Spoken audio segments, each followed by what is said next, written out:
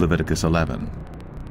And the Lord spake unto Moses and to Aaron, saying unto them, Speak unto the children of Israel, saying, These are the beasts, which ye shall eat among all the beasts that are on the earth. Whatsoever parteth the hoof, and is cloven footed, and cheweth the cud, among the beasts, that shall ye eat. Nevertheless, these shall ye not eat of them that chew the cud, or of them that divide the hoof. As the camel, because he cheweth the cud, but divideth not the hoof, he is unclean unto you. And the coney, because he cheweth the cud, but divideth not the hoof, he is unclean unto you. And the hare, because he cheweth the cud, but divideth not the hoof, he is unclean unto you. And the swine, though he divide the hoof, and be cloven footed, yet he cheweth not the cud, he is unclean to you. Of their flesh shall ye not eat, and their carcass shall ye not touch, they are unclean to you. These shall ye eat of all that are in the waters. Whatsoever hath fins and scales in the waters, in the seas, and in the rivers, them shall ye eat. And all that have not fins and scales in the seas and in the rivers, of all that move in the waters, and of any living thing which is in the waters, they shall be an abomination unto you. They shall be even an abomination unto you. Ye shall not eat of their flesh, but ye shall have their carcasses in abomination. Whatsoever hath no fins nor scales in the waters, that shall be an abomination unto you. And these are they which ye shall have in abomination among the fowls. They shall not be eaten. They are an abomination, the eagle, and the ossifrage, and the osprey, and the vulture, and the kite after his kind, every raven after his kind, and the owl, and the nighthawk, and the cuckoo, and the hawk after his kind, and the little owl, and the cormorant, and the great owl, and the swan, and the pelican, and the gier eagle, and the stork, the heron after her kind, and the lapwing, and the bat. All fowls that creep, going upon all four, shall be an abomination unto you. Yet these may ye eat of every flying creeping thing that goeth upon all four, which have legs above their feet, to leap withal upon the earth. Even these of them ye may eat. The locust, after his kind, and the bald locust, after his kind, and the beetle after his kind, and the grasshopper after his kind. But all other flying creeping things which have four feet shall be an abomination unto you, and for these ye shall be unclean. Whosoever toucheth the carcass of them shall be unclean until the even. And whosoever beareth aught of the carcass of them shall wash his clothes, and be unclean until the even. The carcasses of every beast which divideth the hoof, and is not cloven footed, nor cheweth the cud, are unclean unto you. Every one that toucheth them shall be unclean. And whatsoever goeth upon his paws among all manner of beasts that go on all four, those are unclean unto you. Whoso toucheth their carcass shall be unclean until the even. And he that beareth the carcass of them shall wash his clothes, and be unclean until the even. They are unclean unto you. These also shall be unclean unto you among the creeping things that creep upon the earth, the weasel, and the mouse, and the tortoise after his kind, and the ferret, and the chameleon, and the lizard, and the snail, and the mole. These are unclean to you among all that creep. Whosoever doth touch them, when they be dead, shall be unclean until the even. And upon whatsoever any of them, when they are dead, uh, doth fall, it shall be unclean, whether it be any vessel of wood, or raiment, or skin, or sack, whatsoever vessel it be, wherein any work is done, it must be put into water, and it shall be unclean until the even. So it shall be cleansed. And every earthen vessel, whereinto any of them falleth, whatsoever is in it shall be unclean, and ye shall break it. Of all meat which may be eaten, that on which such water cometh shall be unclean, and all drink that may be drunk in every such vessel shall be unclean.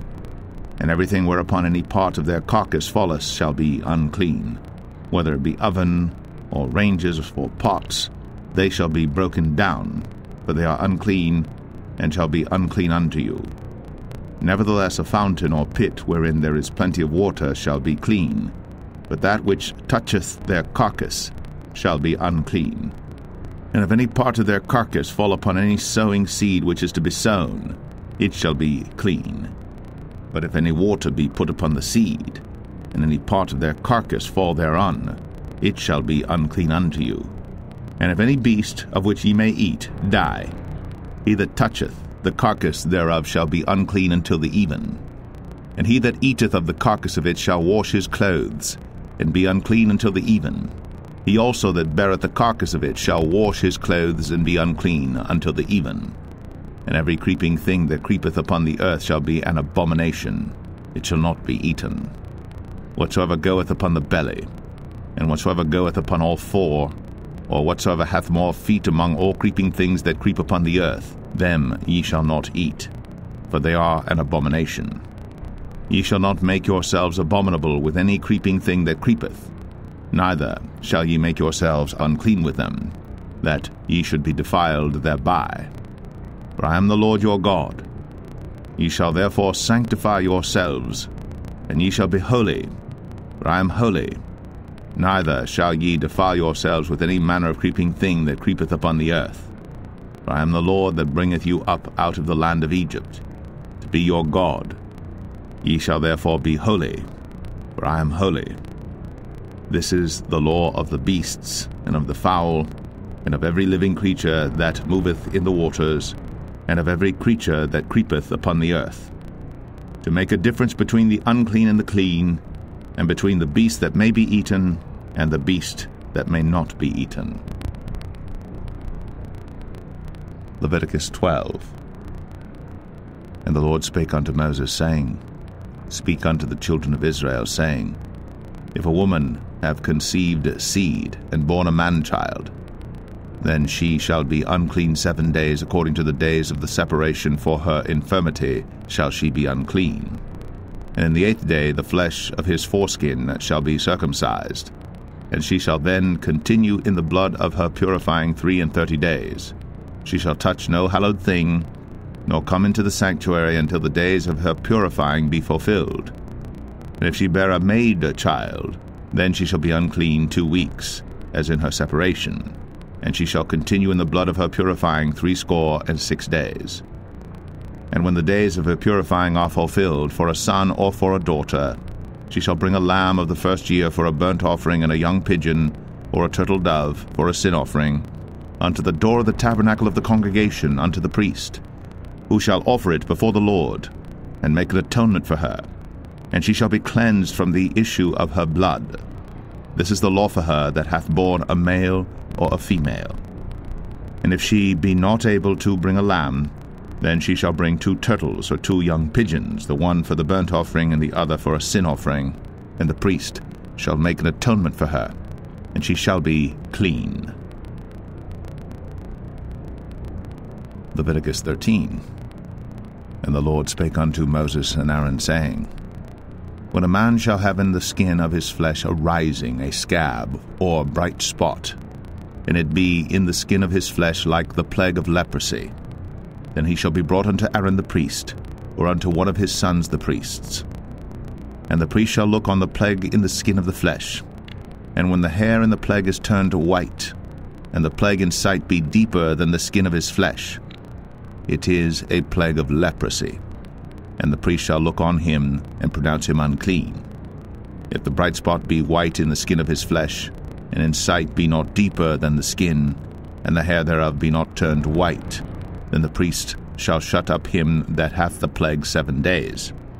And the priest shall look on him the seventh day, and behold, if the plague in his sight be at a stay, and the plague spread not in the skin, then the priest shall shut him up seven days more. And the priest shall look on him again the seventh day, and behold, if the plague be somewhat dark, and the plague spread not in the skin, the priest shall pronounce him clean, it is but a scab and he shall wash his clothes and be clean. But if the scab spread much abroad in the skin, after that he hath been seen of the priest for his cleansing, he shall be seen of the priest again. And if the priest see that, behold, the scab spreadeth in the skin, then the priest shall pronounce him unclean. It is a leprosy. When the plague of leprosy is in a man, then he shall be brought unto the priest. And the priest shall see him, and behold, if the rising be white in the skin, and it have turned the hair white, and there be quick raw flesh in the rising. It is an old leprosy in the skin of his flesh. And the priest shall pronounce him unclean, and shall not shut him up, for he is unclean. And if a leprosy break out abroad in the skin, and the leprosy cover all the skin of him that hath the plague from his head even to his foot, wheresoever the priest looketh, then the priest shall consider and behold, if the leprosy have covered all his flesh, he shall pronounce him clean that hath the plague. It is all turned white, he is clean. But when raw flesh appeareth in him,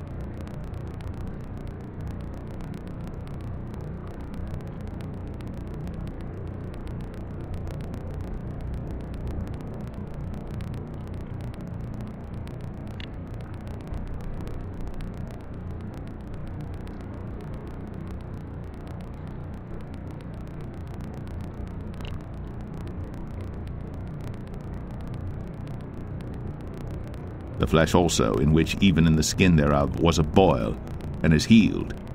And in the place of the boil there be a white rising, or a bright spot, white and somewhat reddish, and it be shown to the priest. And if, when the priest seeth it, behold, it be in sight lower than the skin, and the hair thereof be turned white, the priest shall pronounce him unclean. It is a plague of leprosy broken out of the boil. But if the priest look on it, and behold, there be no white hairs therein, and if it be not lower than the skin, but be somewhat dark, then the priest shall shut him up seven days. And if it spread much abroad in the skin, then the priest shall pronounce him unclean. It is a plague. But if the bright spot stay in his place, and spread not, it is a burning boil, and the priest shall pronounce him clean. Or if there be any flesh in the skin whereof there is a hot burning, and the quick flesh that burneth have a white bright spot, somewhat reddish or white. Then the priest shall look upon it, and behold, if the hair in the bright spot be turned white, and it be in sight deeper than the skin, it is a leprosy broken out of the burning.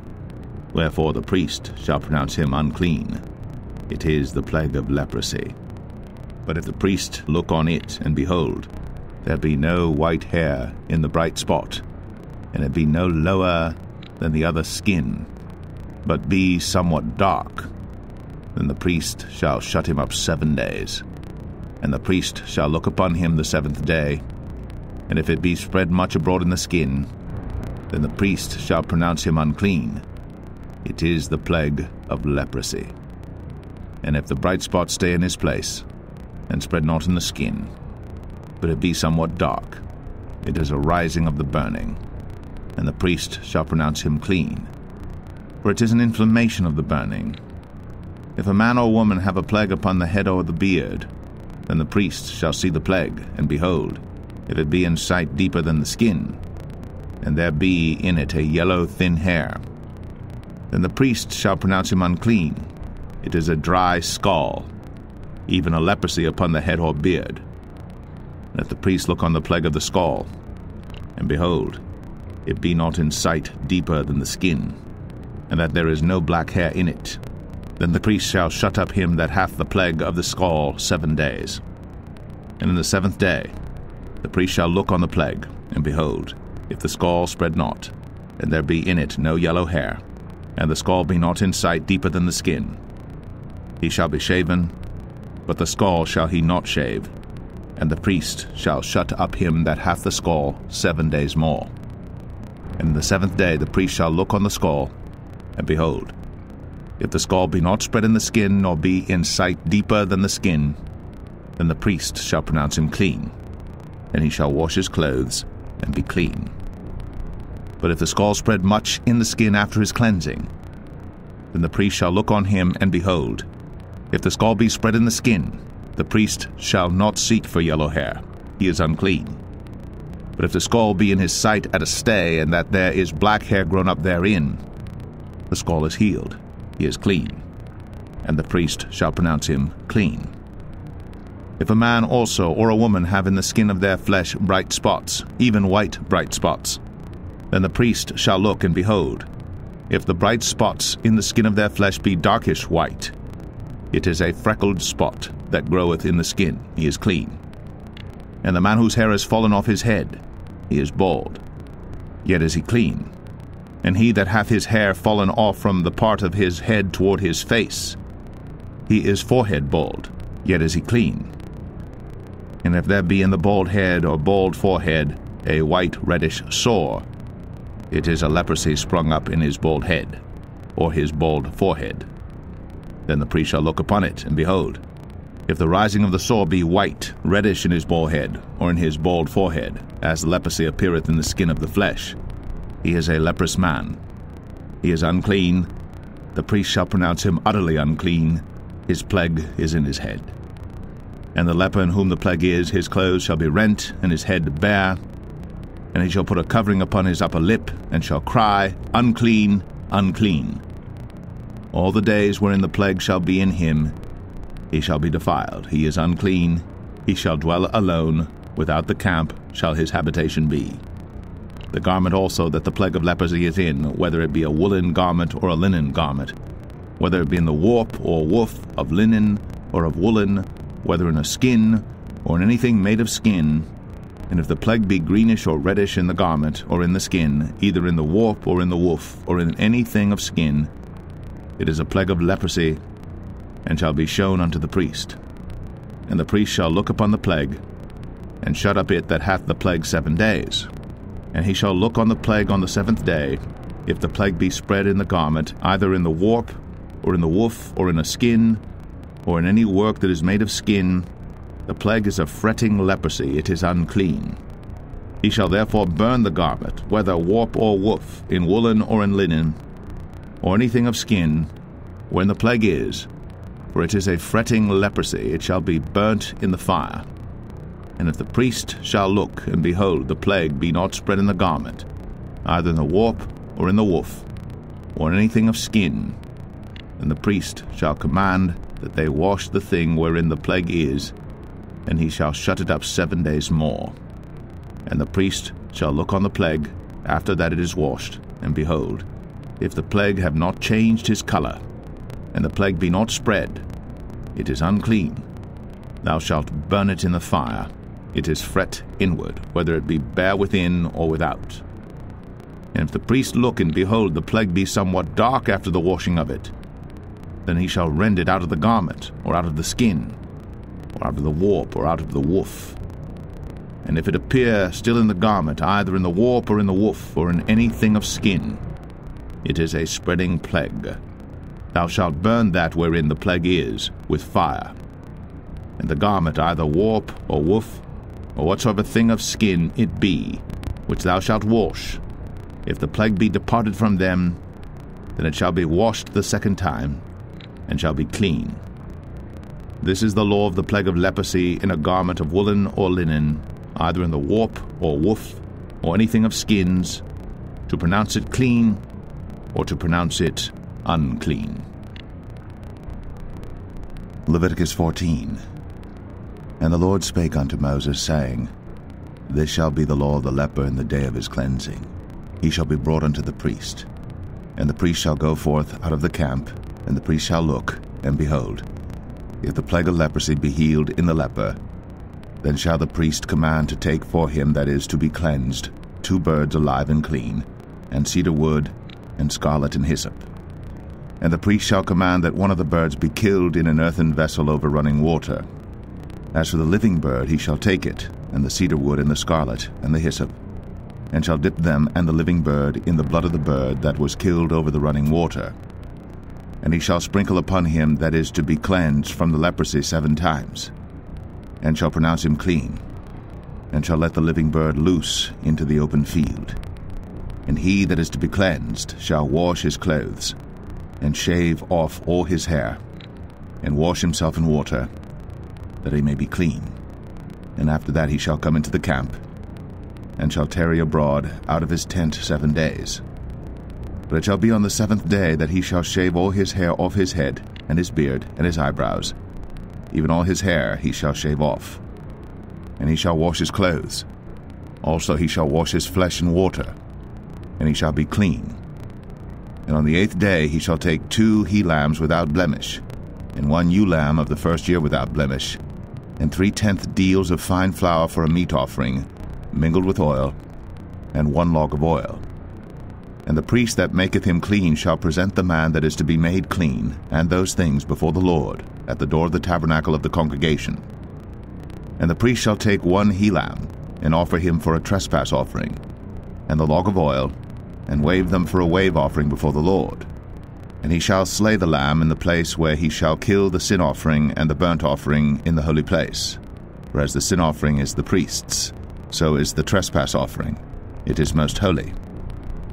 And the priest shall take some of the blood of the trespass offering, and the priest shall put it upon the tip of the right ear of him that is to be cleansed, and upon the thumb of his right hand, and upon the great toe of his right foot.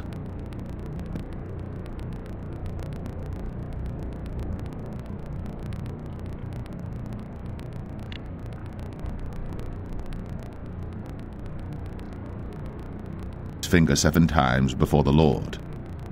And of the rest of the oil that is in his hand shall the priest put upon the tip of the right ear of him that is to be cleansed, and upon the thumb of his right hand, and upon the great toe of his right foot, upon the blood of the trespass offering. And the remnant of the oil that is in the priest's hand he shall pour upon the head of him that is to be cleansed. And the priest shall make an atonement for him before the Lord. And the priest shall offer the sin offering, and make an atonement for him that is to be cleansed from his uncleanness. And afterward he shall kill the burnt offering. And the priest shall offer the burnt offering and the meat offering upon the altar.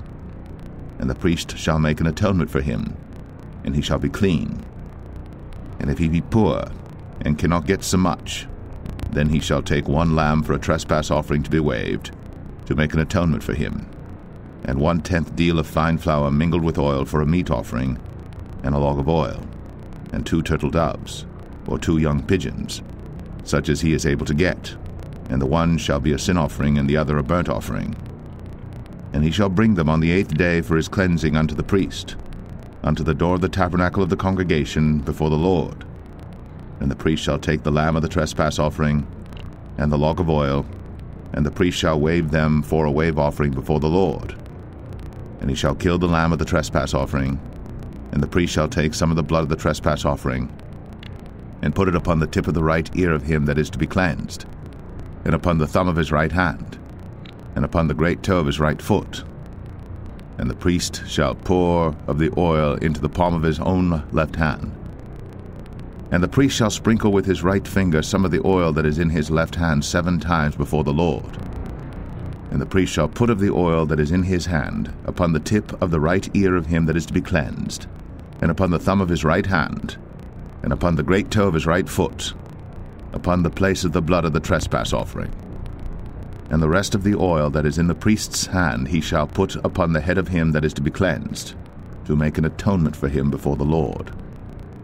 And he shall offer the one of the turtle doves, or of the young pigeons, such as he can get, even such as he is able to get, the one for a sin offering, and the other for a burnt offering with the meat offering. And the priest shall make an atonement for him that is to be cleansed before the Lord. This is the law of him in whom is the plague of leprosy, whose hand is not able to get that which pertaineth to his cleansing. And the Lord spake unto Moses and unto Aaron, saying, When ye be come into the land of Canaan, which I give to you for a possession, and I put the plague of leprosy in a house of the land of your possession. And he that owneth the house shall come and tell the priest, saying, It seemeth to me there is as it were a plague in the house. Then the priest shall command that they empty the house before the priests go into it to see the plague, that all that is in the house be not made unclean. And afterward the priest shall go in to see the house. And he shall look on the plague, and behold, if the plague be in the walls of the house with hollow strakes, greenish or reddish, which in sight are lower than the wall, then the priest shall go out of the house to the door of the house, and shut up the house seven days. And the priest shall come again the seventh day, and shall look, and behold, if the plague be spread in the walls of the house, then the priest shall command that they take away the stones in which the plague is, and they shall cast them into an unclean place without the city and he shall cause the house to be scraped within round about. And they shall pour out the dust that they scrape off without the city into an unclean place. And they shall take other stones, and put them in the place of those stones. And he shall take other mortar, and shall plaster the house. And if the plague come again and break out in the house, after that he hath taken away the stones, and after he hath scraped the house, and after it is plastered, Then the priest shall come and look, and behold, if the plague be spread in the house, it is a fretting leprosy in the house, it is unclean. And he shall break down the house, the stones of it, and the timber thereof, and all the mortar of the house, and he shall carry them forth out of the city into an unclean place. Moreover, he that goeth into the house all the while that it is shut up shall be unclean until the even. And he that lieth in the house shall wash his clothes, and he that eateth in the house shall wash his clothes. And if the priest shall come in and look upon it, and behold, the plague hath not spread in the house, after the house was plastered, then the priest shall pronounce the house clean, because the plague is healed. And he shall take to cleanse the house two birds, and cedar wood, and scarlet, and hyssop. And he shall kill the one of the birds in an earthen vessel over running water. And he shall take the cedar wood, and the hyssop, and the scarlet, and the living bird, and dip them in the blood of the slain bird, and in the running water, and sprinkle the house seven times.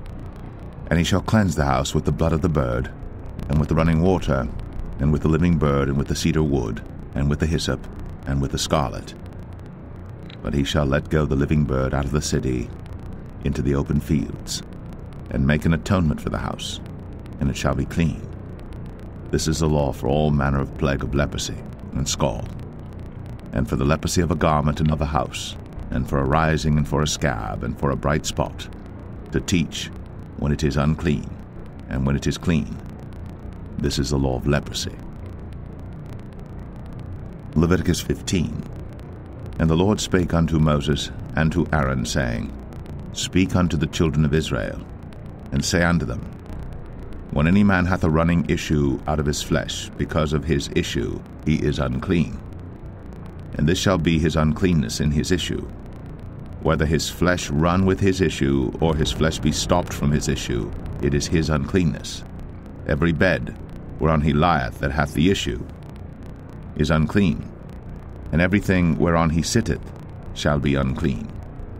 And whosoever toucheth his bed shall wash his clothes, and bathe himself in water, and be unclean until the even. And he that sitteth on anything whereon he sat that hath the issue shall wash his clothes, and bathe himself in water, and be unclean until the even. And he that toucheth the flesh of him that hath the issue shall wash his clothes, and bathe himself in water, and be unclean until the even. And if he that hath the issue spit upon him that is clean, then he shall wash his clothes, and bathe himself in water, and be unclean until the even. And what saddle soever he rideth upon that hath the issue shall be unclean. And whosoever toucheth anything that was under him shall be unclean until the even. And he that beareth any of those things shall wash his clothes, and bathe himself in water, and be unclean until the even. And whomsoever he toucheth that hath the issue, and hath not rinsed his hands in water, he shall wash his clothes, and bathe himself in water, and be unclean until the even. And the vessel of earth that he toucheth, which hath the issue, shall be broken, and every vessel of wood shall be rinsed in water. And when he that hath an issue is cleansed of his issue, then he shall number to himself seven days for his cleansing, and wash his clothes, and bathe his flesh in running water, and shall be clean. And on the eighth day he shall take to him two turtle doves, or two young pigeons, and come before the Lord unto the door of the tabernacle of the congregation, and give them unto the priest. And the priest shall offer them, the one for a sin offering, and the other for a burnt offering. And the priest shall make an atonement for him before the Lord for his issue.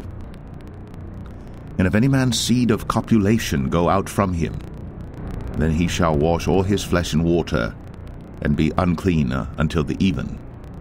And every garment and every skin whereon is the seed of copulation shall be washed with water, and be unclean until the even. The woman also with whom man shall lie with seed of copulation, they shall both bathe themselves in water, and be unclean until the even. And if a woman have an issue, and her issue in her flesh be blood, she shall be put apart seven days, and whosoever toucheth her shall be unclean until the even. And everything that she lieth upon in her separation shall be unclean. Everything also that she sitteth upon shall be unclean. And whosoever toucheth her bed shall wash his clothes, and bathe himself in water, and be unclean until the even. And whosoever toucheth anything that she sat upon shall wash his clothes, and bathe himself in water, and be unclean until the even. And if it be on her bed, or on any thing whereon she sitteth, when he toucheth it, he shall be unclean until the even.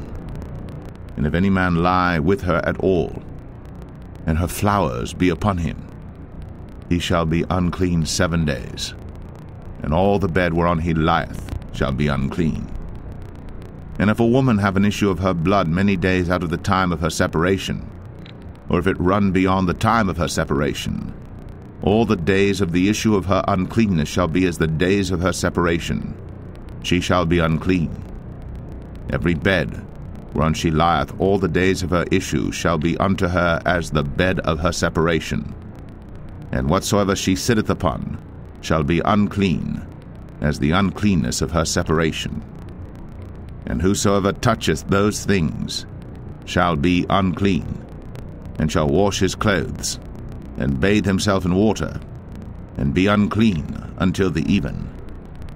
But if she be cleansed of her issue, then she shall number to herself seven days, and after that she shall be clean. And on the eighth day she shall take unto her two turtles, or two young pigeons, and bring them unto the priest, to the door of the tabernacle of the congregation. And the priest shall offer the one for a sin offering, and the other for a burnt offering. And the priest shall make an atonement for her before the Lord for the issue of her uncleanness. Thus shall ye separate the children of Israel from their uncleanness, that they die not in their uncleanness, when they defile my tabernacle that is among them. This is the law of him that hath an issue, and of him whose seed goeth from him, and is defiled therewith, and of her that is sick of her flowers, and of him that hath an issue, of the man, and of the woman, and of him that lieth with her that is unclean.